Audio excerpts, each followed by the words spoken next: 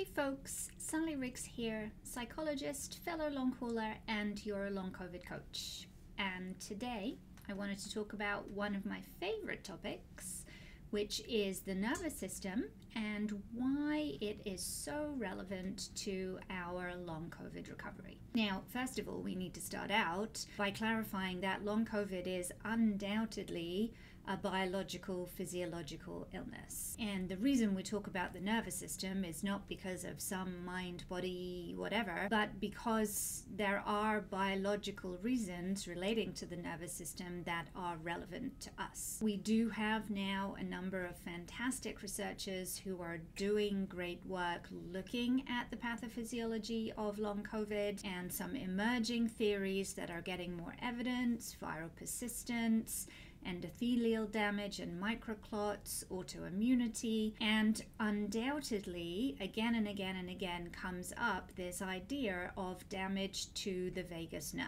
And the vagus nerve is basically the middle of our autonomic nervous system.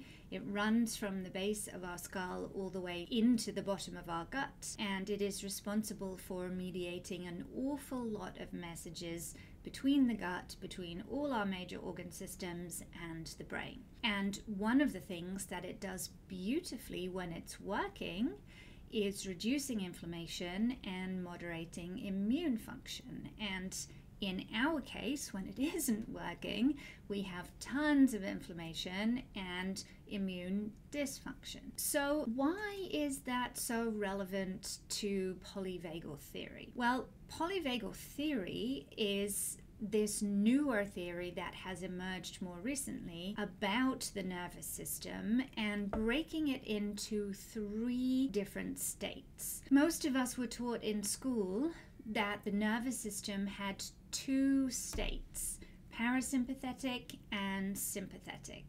And this was the understanding that I had when I first contracted long COVID, and people started talking to me about the nervous system and saying things like, Sally, you need to learn to spend more time in parasympathetic. And you may still hear people use that language, but it has been superseded by polyvagal theory and the work of Stephen Porges. And in fact, if you find yourself saying, I need to spend more time in parasympathetic, technically, shutdown comes under the heading of parasympathetic. And I explain that more in another video, which you can link through to. But if you are familiar with the concept of shutdown, that comes under that heading. So if we go around all the time saying sympathetic and parasympathetic, we're missing something.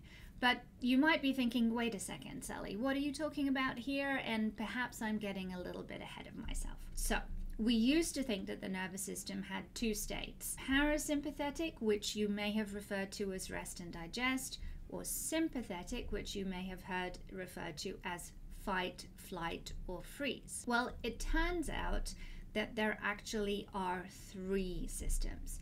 And the reason why there are three systems is because we have two branches of the vagus nerve, and we also have a sympathetic nerve that is separate and these three systems do operate somewhat separately, although they all interconnect into each other. So instead of having one system called sympathetic, which does fight or flight or freeze, we actually have two systems one that does fight or flight, and one that does freeze. And this is very, very, very, very relevant to us because one of the most prevalent symptoms of long COVID is chronic fatigue. Chances are, if you have long COVID and you're watching this video now, you have some degree of fatigue that you're dealing with, if not a huge amount. And what happens is, if we think of the nervous system hierarchically, so you've got your rest and digest at the top You've got your fight or flight in the middle, and you've got your freeze at the bottom. And the vagus nerve becomes damaged by the spike protein, and this causes us to go into fight or flight overdrive. The blood runs from your extremities into your organ systems and can increase your heart rate, increase your body temperature, Ideally, it's meant to make you more focused, but it can also heighten anxiety anger, things like that. And if we think about a lot of the dysautonomia symptoms that we have in long COVID, those are very much related to sympathetic activation. The dizziness, the nausea, like I said, the elevated heart rate, the changes in blood pressure, all to do with that sympathetic activation and initiated in our brainstem. But the thing about that is that our bodies cannot sustain fight or flight for an extended period of time. It can actually cause damage to our organs if we remain in that state for a long time, and ultimately we would wind up dying. And so the body has this third protective mechanism, which we refer to as shutdown or the freeze response. The technical term is dorsal vagal, whereby the body really is pulling a ripcord when you're in sympathetic activation for too long in order to protect any damage from happening to our bodies. And we go into this shutdown state. And this shutdown state is that pervasive fatigue that we experience. Everything literally shuts down. So you feel heavy, you feel sluggish, getting out of bed is difficult, you have reduced gut motility, so you get things like constipation, your digestion is completely slowed. And this is really where we spend 90% of our time in long COVID. And this is why nervous system work is so relevant.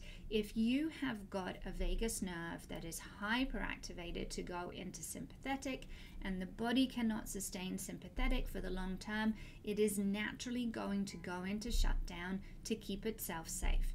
And for us, there's a lot of drawbacks to being in shutdown. It's very uncomfortable. You can't function, you can't eat, you can't work, you can't spend time with your friends, and it's very uncomfortable. So, if you want to stop your body from constantly going into shutdown, you have to find a way to repair that vagus nerve and prevent it from going into sympathetic overdrive. And that sounds like it might be straightforward, but actually it's probably quite complicated. And I'm guessing if you're watching this video, you tried and haven't been super successful. But there is a way to do it. If you want more information, I have put it all together in my course and the details are below for you. I hope you have a tolerable week and I will see you again for another video. Take care.